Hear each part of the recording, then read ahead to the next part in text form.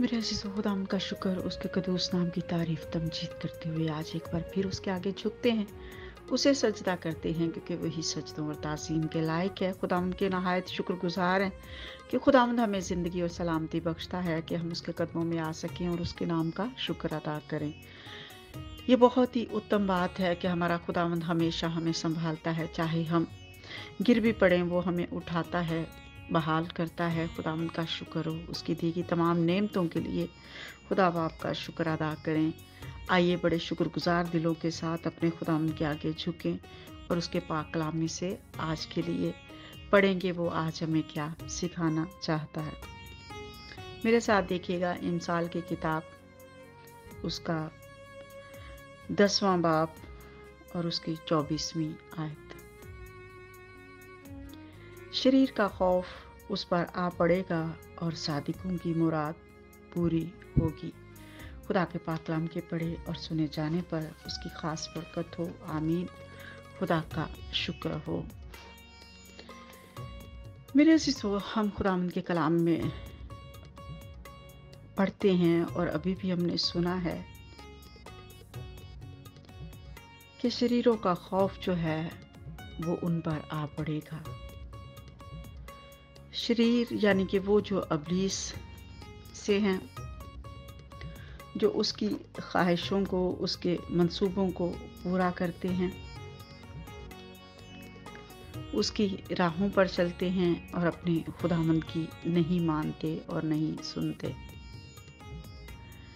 हम सब जानते हैं कि अबलीस का, यानी कि शैतान का शुरू ही से ये बतीरा रहा है कि वह नस्ल इंसान को भटकाता और उन्हें खुदा से दूर ले जाता है। खुदा के बारे में, उस कद्दूस हस्ती के बारे में उनके दिलों में शक पैदा करता है।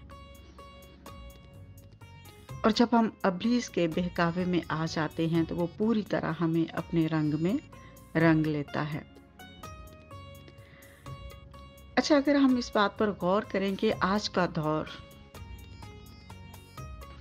जिसमें अबलीस दनदनाता फिर रहा है। उसके मंसूबे, उसके काम बड़े जोरों शोर से जारी और सारी हैं। और उसके मंसूबे बड़ी तेज़ी के साथ पाए तकमील तक पहुँच रहे हैं। और वो शायद इस बात से खुश हो रहा होगा कि मैं नस्ल इंसान को किस तरह से भटका रहा हूँ। अच्छा ये बात हमें हमेशा याद रखनी चाहिए कि अबलीस को ये पता है कि उसका अंत क्या है, उसकी आखरत क्या है और उसके साथ आखिर में क्या होने वाला है। लेकिन फिर भी उसकी दिदा दिलेरी देखें कि वो अपने कारनामों पर, अपनी मंसूबों पर, अपने गुनाहों पर शर्मिंदा नहीं होता, बल्कि खुदा का मुकाबला करता है। अब होना तो ये चाहिए था कि जब उससे गुनाह हुआ और वो ज़मीन पर पटका गया। वो अपनी शिकस्त को मान लेता, अपनी गलती को मान लेता और खुदामंद के हजूर झुक जाता कि खुदामंद को अपना बड़ा बुज़ुर्ग मान लेता। लेकिन उसके बरक्स उसने क्या किया? उसने खुदा की बनाई हुई कारागरी को, इस कायनात को और बनिनो इंसान को ही बिगाड़ने की कोशिश की। और हम सब जानते हैं कि किस तरह से आदम और हवा से वो गुनाह सरजद हुआ और उन्होंने वो फल खाया, वो हुक्म तोड़ा जिसकी बाबत खुदा ने मना किया था। लेकिन हमें एक बात याद रखनी चाहिए, जैसे कि आज के कलाम में भी हमने पढ़ी है, शरीर का खौफ उस पर आ पड़ेगा। अच्छा जो शरीर होते हैं, जो शैतान लोग होते हैं, वो खा कुछ भी करें एक खौफ उन्हें घेरे रहता है कि किसी वक्त भी उनका ये राज फाश हो सकता है। किसी वक्त भी इस बात पे से पर्दा उठ सकता है जो वो छुप छुप कर करते हैं। एक बात हमें याद रखनी चाहिए कि अबलीस हमेशा छुप कर वार करता है, धोखे के साथ वार करता है।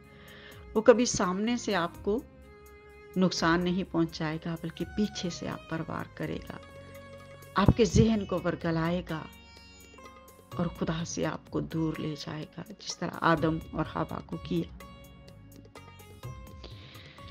लेकिन खुदा का कलाम हमें सिखाता है कि जो सादिक होंगे, जो सच्चे होंगे, उनकी जो मुरादें हैं, वो पूरी होंगी।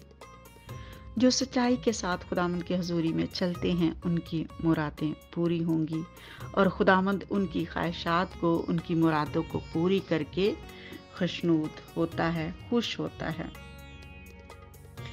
अच्छा वैसा नहीं कि सादिक जो हैं या सच्चे जो हैं, वो कभी कोई नाराज़, ख्वाहिश नहीं कर सकते कर सकते हैं वो कई बार। वो ऐसी ख्वाहिशें करते हैं जिनको पूरा करना खुदावंद के लिए मुमकिन नहीं होता। या जो उसको पसंद नहीं होती। क्योंकि कोई भी ऐसी नाराज़ ख्वाहिश जो है,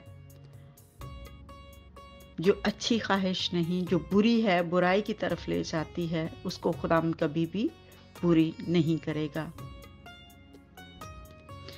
अगर हम ज़बूर सैंतीस, उसकी चौथी आयत पढ़ें तो वहाँ लिखा है, खुदामंद में मसरूर रह और वो तेरे दिल की मुरादें पूरी करेगा। अपनी राह खुदामंद पर छोड़ दे और उस पर तवक्ल कर, वो ही सब कुछ करेगा। सुबह भी समय यहाँ पे सिखाता है कि जब हम खुदामंद में मसरूर रहते हैं, जब हम उसके हुक्मों की तामील करते हैं, जब अपनी राहें हम खुदावन पर छोड़ देते हैं और उस पर तवक्ल करते हैं तो वो हमारे लिए सब कुछ करता है क्योंकि वो ऐसा करने पर कादिर है। तो मेरे अजीज़ों, आज अगर हम कोई भी अपनी ख्वाहिश, कोई मन की मुराद अपने खुदावन के सामने रखते हैं तो हमें सोचने की ज़रूरत है कि वो ख्वाहिश कैसी है। हाँ अगर हम खुदावन की मानद बनना चाहते हैं, मसीह की मानद बनना चाहते हैं, हम खुदामन से दरख्वास्त और मिन्नत करते हैं कि खुदामन तो हमें मसीह की मानद बना, हमारी मदद कर हमें अच्छे काम करने की तौफीक दे। हमें अपने पाक रूह से भर। हम तेरे साथ आसमान पर रहना चाहते हैं। हम तेरे साथ, तेरे कदमों में रहना चाहते हैं। तो मेरे अजीज़ों, ऐसी ख्वाहिशात को खुदाम कभी भी रद्द नहीं करता।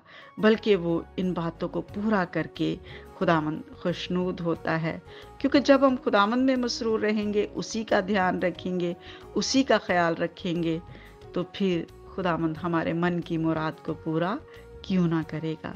तो आज हमारी ख्वाहिश यही होनी चाहिए कि खुदामंद हम ये मिन्नत करते हैं, हमारी ये दरख्वास्त है, हमारी ये मुराद है तो हमारे मन की मुराद को पूरा कर खुदावंद, कि हम पूरे तौर पर तेरे हूँ खुदावंद। हमें अबलीस और उसके सारे गंदे मंसूबों से बचा खुदा बाप, क्योंकि तू ही ऐसा कर सकता है। और खुदावंद, खुदा हमें कोई ऐसी दरख्वास्त ऐसा कोई ख्याल, ऐसी कोई ख्वाहिश हमारे अंदर पैदा ना हो जो हमें तुझसे दूर ले जाए। तो आइए मेरे अजीज़ों, हम अपने खुदा खुदा को अब बड़े ज़ोर से पुकारें और अपने आप को उसके कदमों में रख दें और उसे कहें खुदामंद तू तो सब कुछ कर सकता है। आमीन।